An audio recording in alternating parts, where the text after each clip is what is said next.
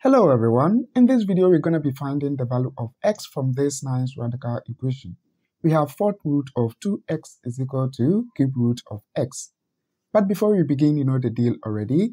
Pause the video and try first. And if you are new here, consider subscribed and also don't forget to like this video. Now let's get started. First, I'm going to raise each side of this equation to the fourth power. Okay, so that this 4 will cancel this fourth root. Now we have 2x over here, and this is equal to cube root of x all to the power 4. So I'll copy this down. We have 2x is equal to, now let's go ahead and then focus on this. If I have c root of a all to the power b, this could be written as c root of a to the power b.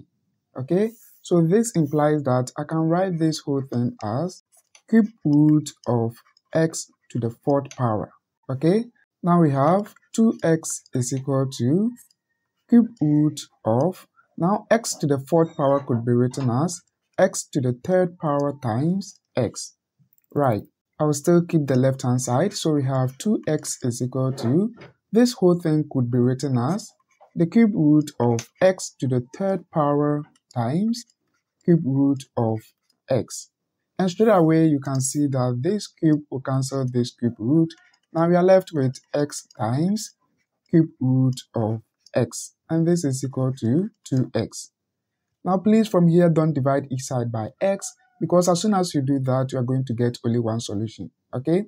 So what I will be doing from here is I'm going to raise each side of this equation to the third power.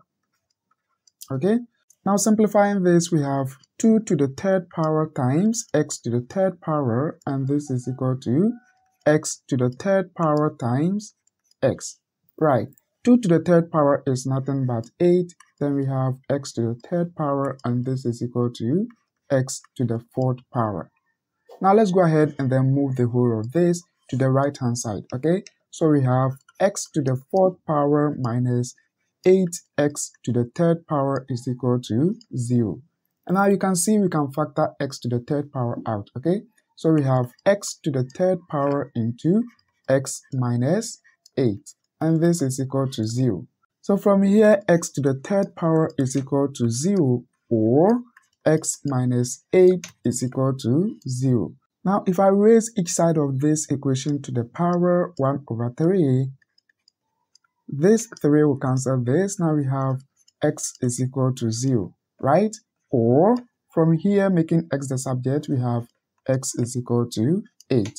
So the final answer turns out to be x is equal to 0 or 8. Okay? I hope you enjoyed watching this video.